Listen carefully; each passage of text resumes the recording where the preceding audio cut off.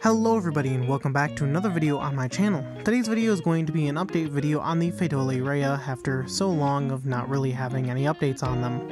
First things first, let's check out the nests, and uh, this is nest number one, and you can see that it is absolutely filled to the brim with workers and brood.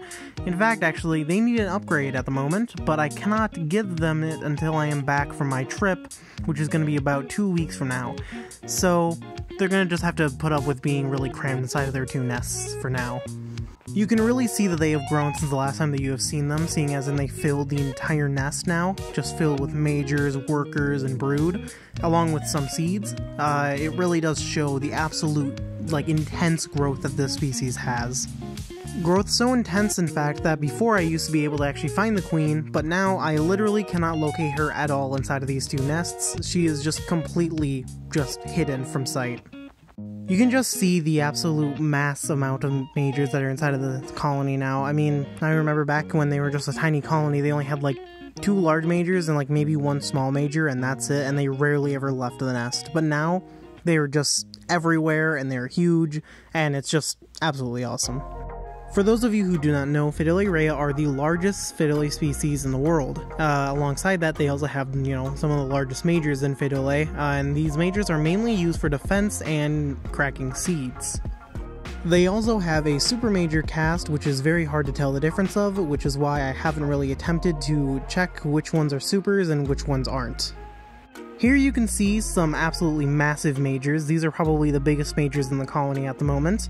You can see they just they're absolutely massive. They're so many times larger than the actual workers themselves, and you can see a good little clump of small brood and eggs there. Of course, now we are in the other nest, which is mainly used for storing, you know, the smaller brood and also some more seeds, but for the most part, this nest is pretty much completely full as well with workers. This entire time I am trying to locate the queen and I think that she's within this clump somewhere.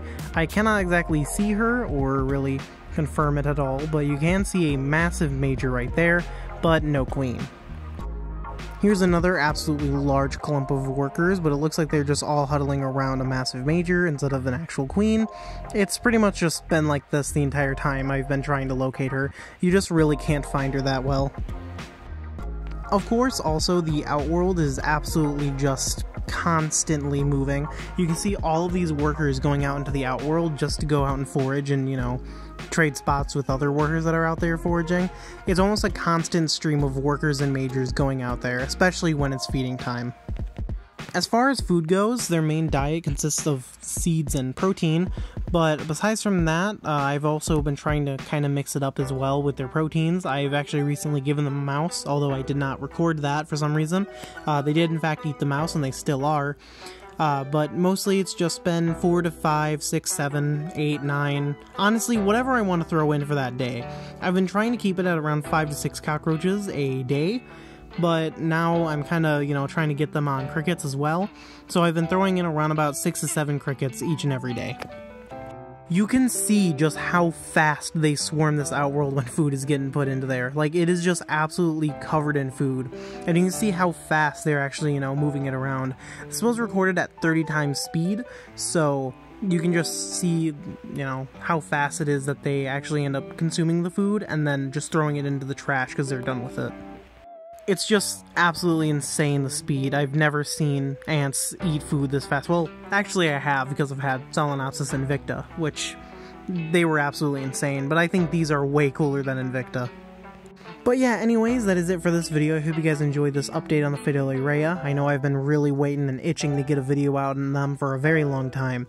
Uh, if you guys enjoyed the video, then go ahead and like it. And actually, I'm not even going to do this part. I'll just let Outro Me go ahead and finish off this video you know, like how I used to let, let them finish it off. So yeah, take it away, uh, outro me. Thank you all for watching this video. You guys can check out my Instagram where I oftentimes post stories and all sorts of stuff like that. You can also check out the two Discord servers Antkeeping and Ethology and Ants Anonymous where you can easily get in contact with me. Also check out my Patreon. My Patreon is the best way that you can go ahead and support these type of videos and it would mean a lot to me if you were to go over to become a patron, but you don't have to. Anyways, thank you for watching this video and I hope to see you guys in the next video. Bye.